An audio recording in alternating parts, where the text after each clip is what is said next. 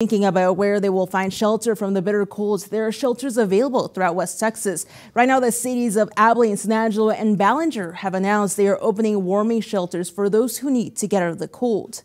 Now in Abilene, the Rose Park Senior Center on 7th Street will be open from 8 a.m. until 5 p.m. Thursday and Friday.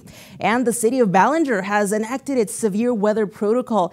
Anyone needing shelter should call dispatch at 325-365-3591. The community center at the intersection of Crossan Avenue and 2nd Street is also available for residents of Runnels County.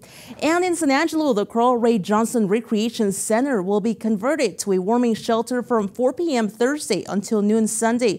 Transportation will be provided from Concho Valley Transit on those days. It's important to note no disruptive animals will be allowed at the shelter. To see this information again, visit our website at foxwtx.com.